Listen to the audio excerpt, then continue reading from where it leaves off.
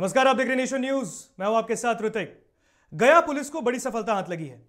दरअसल, गया पुलिस ने गुप्त सूचना के आधार पर छापेमारी करते हुए दो सौ तिरपन किलोग्राम गांजा के साथ छह अपराधियों को धर दबोचा है। बताया जा रहा है कि डोभी थाना क्षेत्र के जयरामपुर नगर रोड के पास गुप्त के गुप्त बनकर छिपा जो है, वो गांजा लेकर जा रहा था। इस दौरान आर्थिक अपराध इकाई की विशेष टीम और गया पुलिस की संयुक्त कार्रवाई में तस्करों को रंगे हाथों पकड़ा गया है। फ़िलहाल खबरों में बस इतना ही। हमें दीजिए इजाज़त, बने रही नेशन न्यूज़ के साथ। धन्यवाद।